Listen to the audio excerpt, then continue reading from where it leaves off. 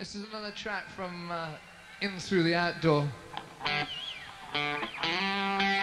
It's a song, another song of unrequited love. We dedicate this to uh, Barry Marshall, who's driving the trucks for us.